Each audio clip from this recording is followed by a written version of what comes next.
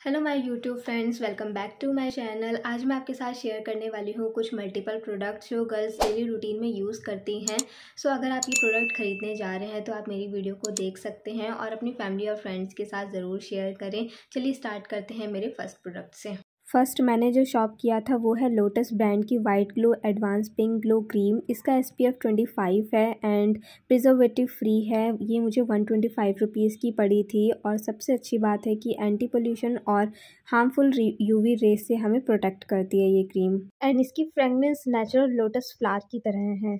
Second item is Swiss beauty की lip balm ये lips को nine to ten hours soften रखती है एंड इसकी fragrance O M G third item is wooden neem comb ये help करती है डेंड्रफ रिमूव करने में एंड रिड्यूसेस हेयर फॉल और ब्लड सर्कुलेशन के लिए भी काफ़ी अच्छा है.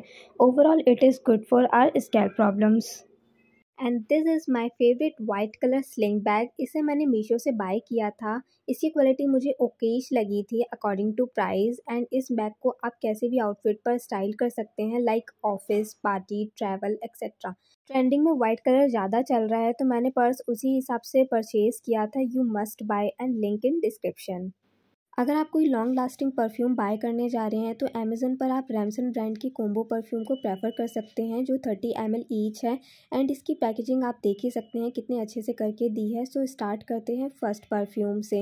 ये है यू आर लवली इसमें आपको jasmine rose vanilla woody fresh fragrance मिलेगी।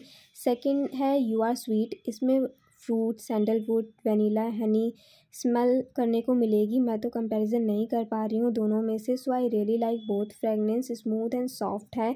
ईजिली कैरी कर सकते हैं डेली पर्पज़ के लिए।